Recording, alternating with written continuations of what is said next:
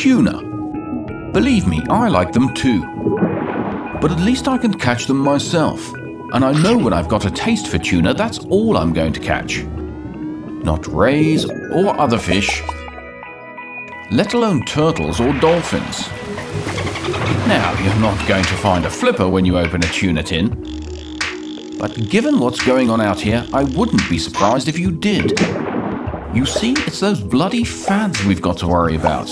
No, not those kinds of fads. I'm talking about some serious death traps the fishing industry likes to call fish aggregation devices.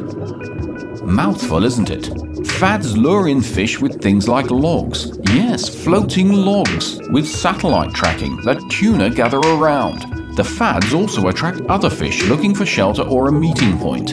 And where there is so much food, the big predators are going to join in. It's like a big party, they just can't stay away. And once they're entranced, a massive net scoops them all up.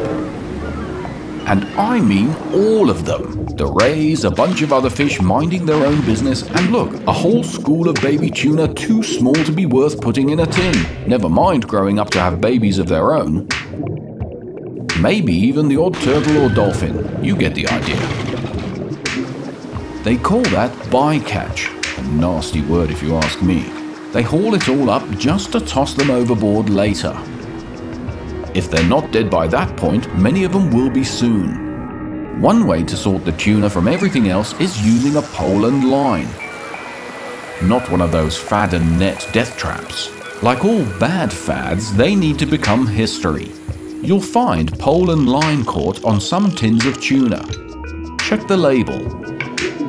Still want that tuna sandwich? Oh, bloody hell!